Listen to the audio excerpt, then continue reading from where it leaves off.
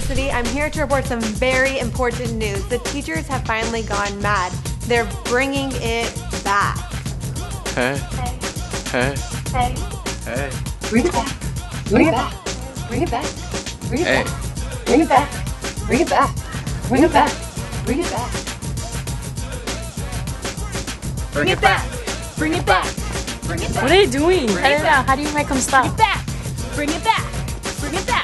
Let's get out of here. Bring it back. Bring it back. Don't worry, I'm here to help.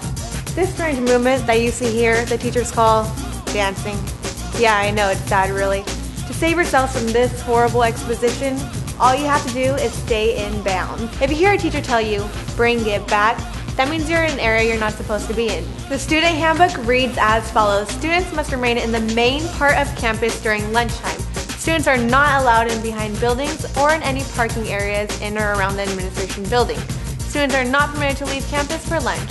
Apparently it's dangerous out there. Bring it back. Bring it back. No, it's okay. I'm just. Ah!